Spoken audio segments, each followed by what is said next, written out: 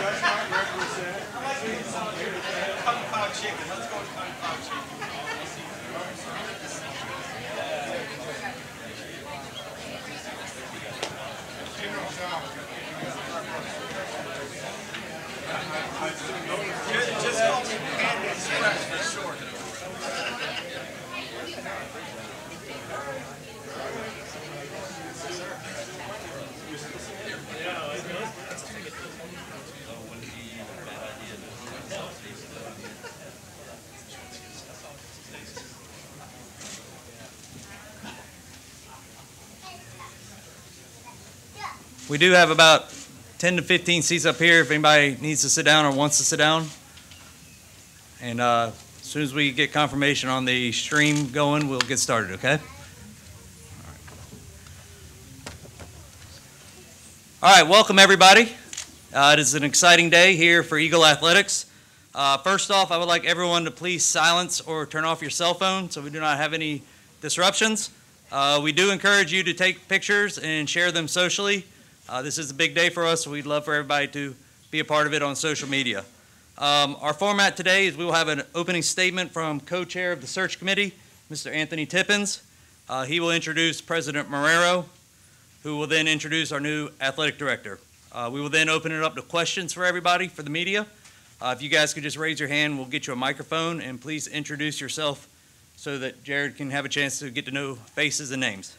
Uh, Media will then go outside for some one-on-ones, and then at that point, uh, we'll break. We do have a basketball game tonight, so we hope that everybody can come join us tonight as the Eagles make their march to a Sun Belt championship. So with that, with that said, I would like to take this opportunity to introduce one of our co-chairs, Mr. Anthony Tippins.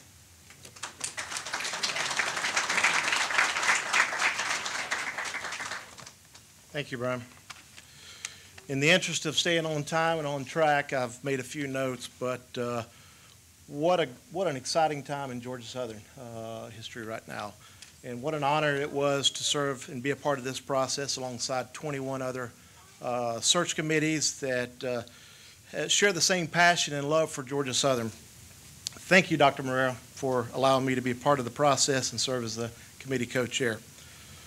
I'd like to extend a thank you to Leonard Bevel, uh, who also served as co-chair of this 22-person search committee and uh, helping drive the process. Leonard and I had great debates and conversations over the past two months, so thank you, Leonard.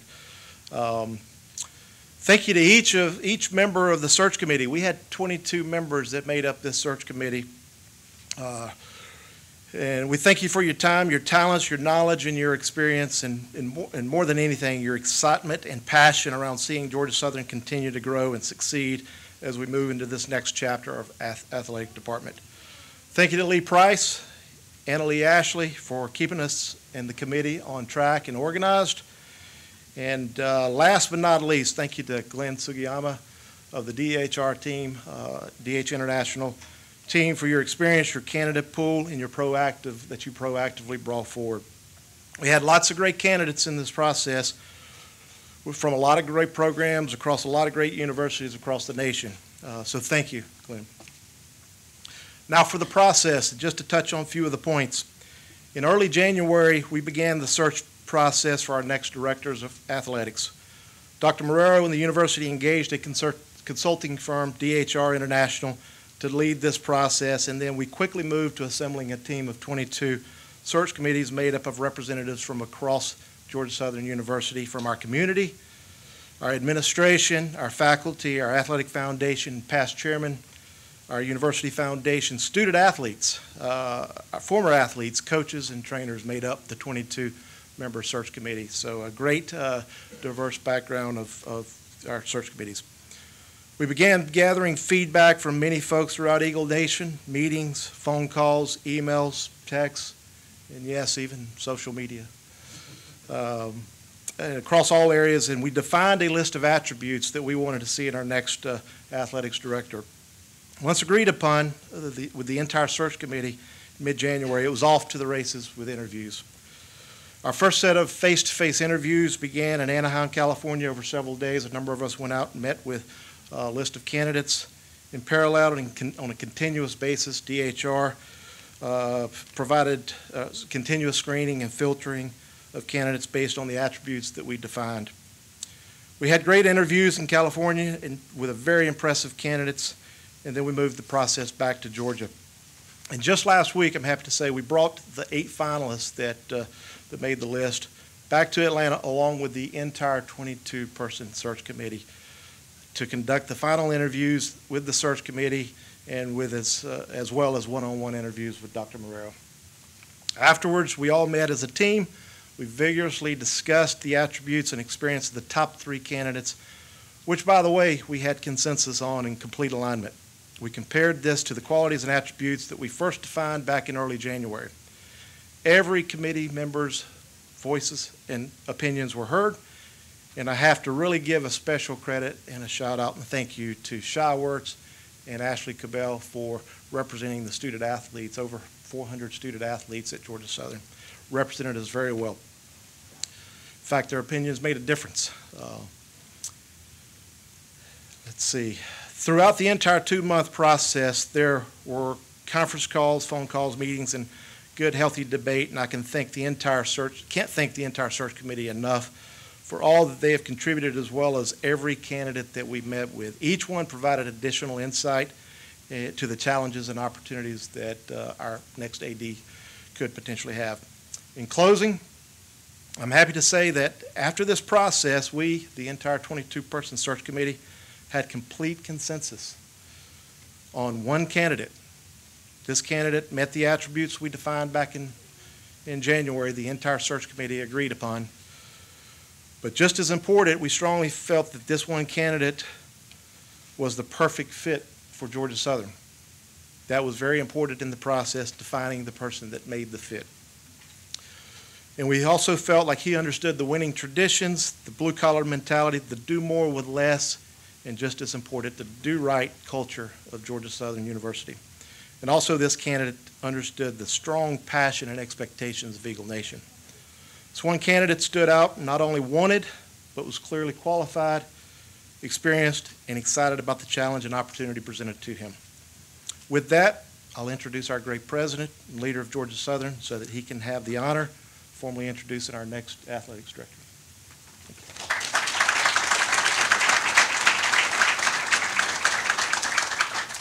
Well, it's indeed an exciting day, an exciting day for Georgia Southern, for the Eagle Nation. As Anthony said, we went through a process, a process that I knew as president, a relatively new president, the 14th president of Georgia Southern, who began, uh, it'll be a year, just coming up in a few weeks, that this hire was going to be important to all of us, to the future of Georgia Southern and the way in which we'd move forward within a strategic plan, a way in which we would know we would have impact, not just today, but in the future. And for us, uh, Anthony talked about the attributes.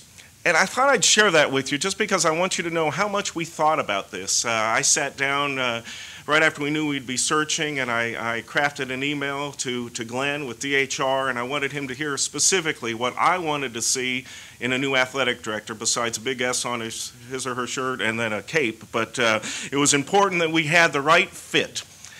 We wanted somebody with NCAA D1 FBS experience check. We wanted a demonstrator, demonstrated leader with management success uh, within an idea of evidence-based leadership, a culture of high performance, measurable outcomes, and a single point of accountability. Check. We knew this person needed to be committed and have a track record of student athlete success, both academic, health and wellness, inclusion, leadership, character development, and community service. Check. We needed this person to understand, appreciate, embrace, and cultivate the history, traditions, and legacy of Georgia Southern athletics. Check.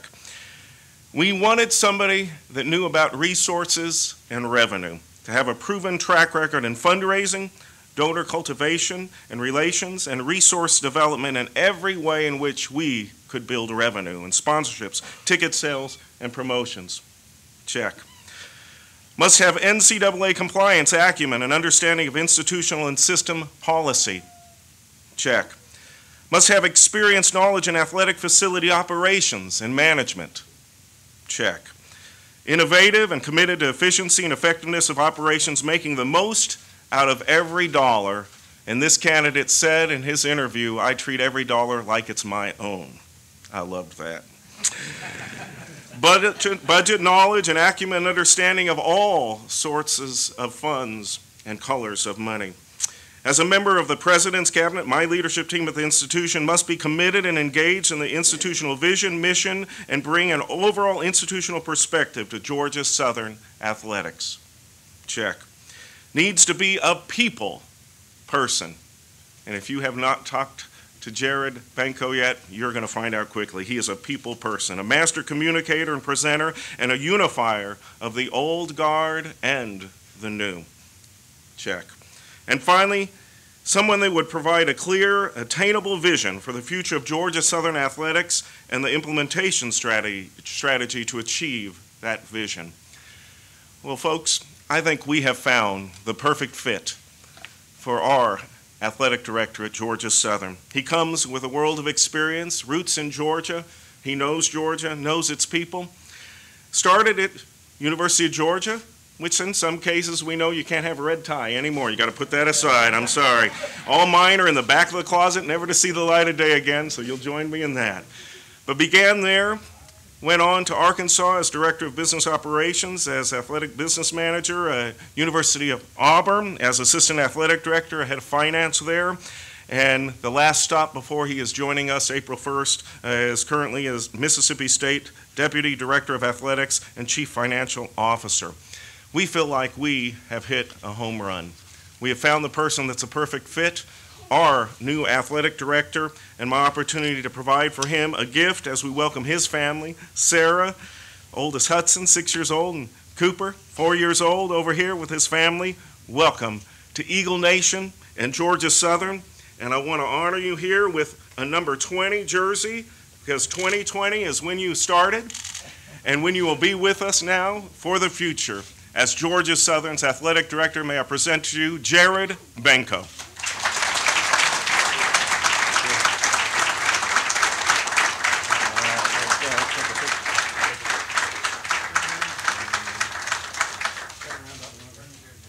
Turn the jersey. Oh, yeah, it says Benko on it. There we go.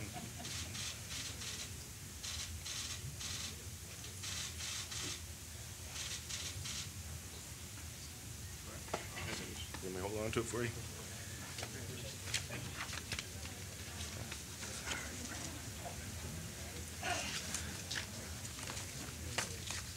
That jersey's pretty cool, isn't it? hopefully, hopefully it fits. So, hey, uh, Dr. Marrero, thank you for your comments. Uh, it means more than you know. Uh, it's a good afternoon, everyone. It's a great day to be an Eagle. Uh, from the administration to the community to the media, thank you for being here.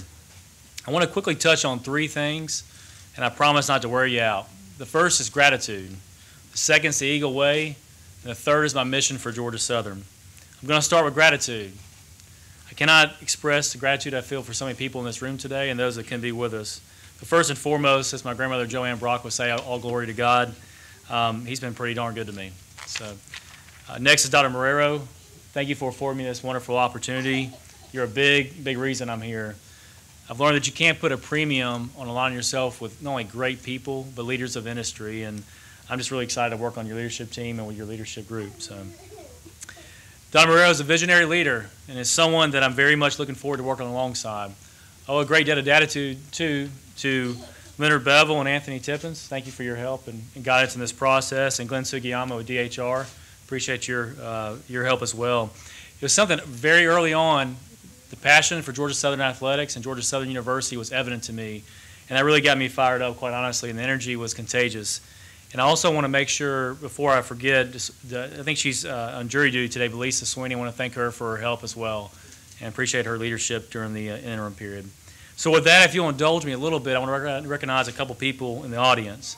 Sarah, thank you for, for being here and for your unlevering uh, love and support of me and our family. And we started this journey almost nine years ago, and so I can't thank you enough. And, and you're the bedrock of the family, and you're great. You're a great mom and great dad. It's been the best years of my life, so thank you. So, uh, Hudson and Cooper, y'all coloring over there? We color? Yeah. Listen, boys, I love you. And I already told Coach uh, Hennon that he's going to have two bat boys ready for him already. In fact, I think we already have some game balls from last night. So we're, we're excited to get here. Mom and Dad, thanks for being here today. Thank you for your sacrifices uh, and and instilling the right values and morals in me growing up. I wouldn't be here today without you, so thank you so much. Love you both. Coleman and Carrie, my brother and sister, are here today. Thank you for making the trip down from Watkinsville. It means a lot for y'all to be here. I love you both. Though I would be remiss to not mention some other men and women in college athletics and higher education that I want to thank as well, and people that have had an incredible impact on my life. I believe that we have an obligation to mentor, teach, and serve others. And so people like John Cohen, Scott Stricklin, David Benedict, Carla Williams, Jay Jacobs, Clayton Hamilton, John Fagg, Julie Cromer, Claude Felton, and so many more people have had an indelible mark on me. And I, I really, I'm here to pay it forward. So I hope I have the opportunity going forward to, to work along with some great uh, coworkers and help uh, build them up and help them develop. That leads me to my second point, the Eagle Way. One of the most special things to me about Georgia Southern is a great synergy and alignment between academics and athletics. Our young men and women are students first and athletes second. And I'm fired up today. I saw that we had some, some of the sports back there, some of the student athletes. We had soccer. I think we saw swimming and diving. Had a couple. Thank y'all for being here. I appreciate y'all taking the time to come out. To me, the embracement of this total student athlete process is huge and something I'm really excited to be here for. I grew up, there's also talking about the tradition. I grew up hearing stories about Coach Erk Russell, several of them, had pictures of them, and I just, I can't tell how much I appreciate that uh, history here. The Dirty Dozen, beautiful Eagle Creek. I look forward to when, when the, uh, the water goes down and it gets a little warmer, getting officially baptized in Eagle Creek. We're going to hold off on that for a month or two, a little bit, a little warmer. Um, offense was the Georgia Power Company, and the rate hike was, was uh, excuse me, the snap count was a rate hike. So GATA, I mean, the history goes on and on. You have a legacy of national championships and people like Jack Stallings and John Tudor. Tracy Ham's in the house today. Adrian Peterson, uh, Paul Johnson, Tookie Brown. I can go on and on. So to me, the history speaks for itself, and really, uh, to me, I can't tell you how more proud I am to be here. My last point is the mission for Georgia Southern. I had a chance to speak to our staff earlier today, and I touched on three guiding principles, or as they say in college athletics, culture. Blue collar work ethic. All right, that's something I embrace. It's how I was raised. So we're going to have that blue collar work ethic. We're going to do more or less. But here's the cool thing about that: we're also going to find ways to generate more revenue. We're going to find ways to think outside the box. And I'll touch on innovation here a little bit. But we're going to combine the the uh, blue collar mentality and also look forward to some some cool things. The other thing I'll tell you too is you know, you're talking about hard work, which I think is a bedrock again of Georgia Southern athletics. To me, I had a chance growing up working landscaping and also working on roofing jobs in high school. And as a teenager, I was probably 140 pounds soaking wet, uh, getting up there early in the morning, uh, going up ladders, carrying shingles, and, and laying outside after it rained. And I tell you, there were times that, that, quite honestly, at early age, I wanted to quit and not finish the job. And I think my parents were instilling me that hard work and that work ethic to finish the job and not quit. And uh, there were times, quite honestly, I wanted to, and that, that, that has instilled and stayed with me for a long time. And so, whether it be a week or a month or a year later, I know that I'd finished the job and made an impact on people. And so, that hard work and that blue collar work ethic is something I fully believe. We're also, I touched on the staff by being a servant leader, having that servant leader mentality. We're first and foremost here to serve our student athletes. All right, and that's our coaches, our staff, our donors, and our supporters and fans and alumni. So that, that's, that's the second core tenet. And the third is innovation. To me, this is something, this innovation is going to be ingrained in everything we do. Uh, we will celebrate our history, but we'll strive to be cutting edge and really going to be thinking outside the box and a lot of stuff. And I think you're already starting to see some things, and going forward, I'm excited to, to roll some more things out as well. I'm going to close by saying I know this is a tremendous opportunity, and is one that carries great responsibility, and I will not let you down. I'm humbled, I'm honored to be the next leader of this prestigious athletic department. Sarah and I are beyond thrilled to raise our family in a small, close-knit community. Uh, you know, to me, Statesboro is a place we, we want to raise our kids and establish roots and be here a long time. So we're really excited about getting in the community and being here as a family. So thank you already for, for welcoming us. And the last three things I want to hit on again is gratitude, the Eagle Way, and our mission for Georgia Southern. And that about sums it up. Our best days are ahead. And I can't wait to get to work. Thank you again for allowing me to be here today with you in GATA. Dee,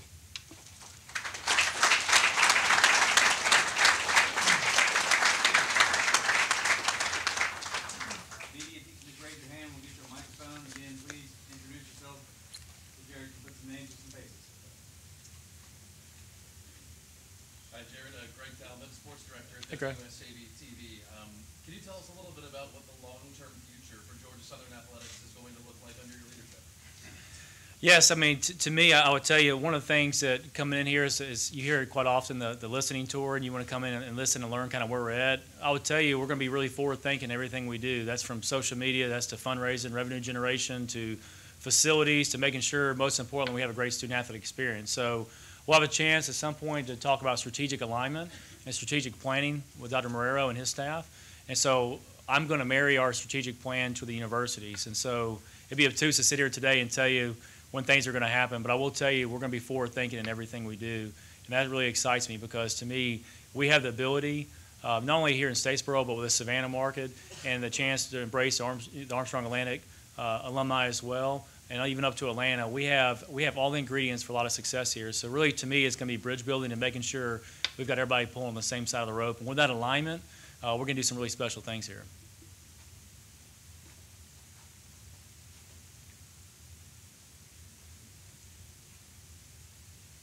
Welcome to Statesboro. Frank Solkowski, Frank. WJCL. Jared, talk about, you know, this isn't just a job for you. I mean, this is a lifestyle. This is going to be something that you said you want to raise your family here. What was so desirable about this position? I would say it's a combination of uh, history and potential. And so to me, what excites me about this position in this university is our best days are ahead. I wouldn't be here today if I felt differently. And so to me, I have a healthy respect. I, spent the first 29 years of my life in the state of Georgia. And to me, Georgia Southern embodied who I felt like I was. It was that blue collar, in your face, we're going to fight you tooth and nail every time we, we, we play off on the, on the different course of the playing fields. And so for me, it was an alignment between who I am as a person and ultimately it's a great opportunity. And so, you know, the personal side to me is very easy. We really enjoy living in a small town community, and that really aligned with our values of raising two young boys. And so, to me, I think the better question is why would I not want this opportunity? Because I think there's so much, so much optimism and so much uh, leadership here with Dr. Marrero and his staff.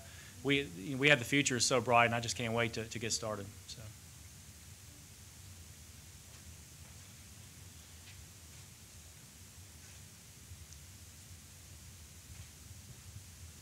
Jared, Jake Wallace with WTOC out of Savannah.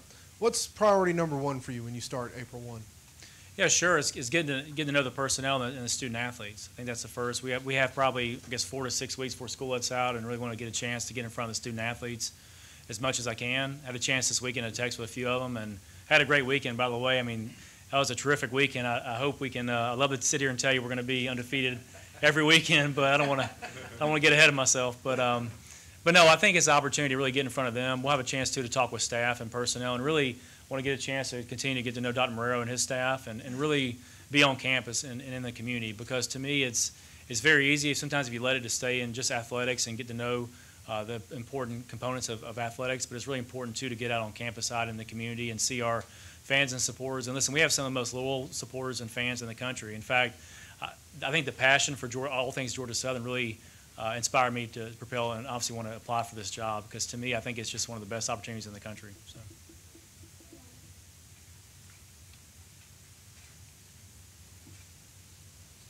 Anything else?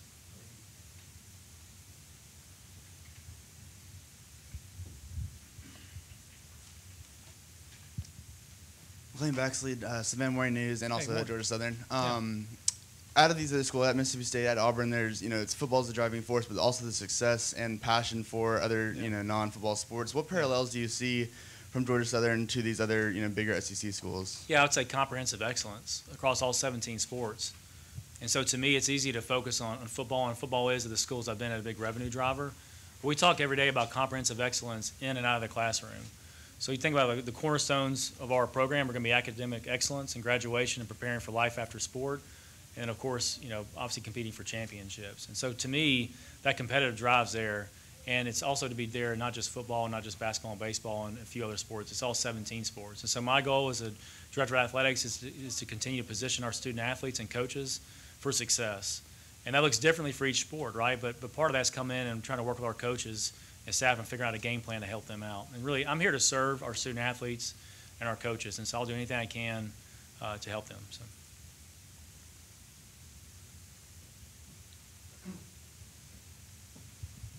Hi, uh, welcome. I'm Nathan Dominitz, sports editor of the Savannah Morning News. Um, you worked at some very big programs, SEC programs. Um, was there a template? Uh, somebody you mentioned a lot of uh, past uh, sports information directors, athletic directors. Was there a template where you said, that's the vision that I'd like to have here that you've seen in your experience? I think the, I think one of the, the great qualities and been blessed to work with a lot of great uh, administrators and, and people in athletics is to really, I would say, take best practices from every place you've been at and bring them here. Again, it'd be obtuse to say, hey, this is round peg, square hole type mentality. And so one of the great things I feel like that I bring to the table is I can take the best practices of the four SEC schools I've been at and bring it here to Georgia Southern. I'm not really concerned about other, any other school right now except for Georgia Southern. And so having a chance to come in with, I feel very confident, a good healthy baseline in some different areas, that I can bring them in here and then assess and implement as needed. Um, I just think that's a tremendous baseline. Another thing too is when, uh, when adversity hits and when things happen, part of that's having that experience to know how to handle stuff. And so I've been very blessed to, to work with a lot of great people have given me that experience. And so it's prepared me ultimately for this job today. So. Do you have any more questions from the media? Thank you, Jerry. All right, thank you. Hail Southern.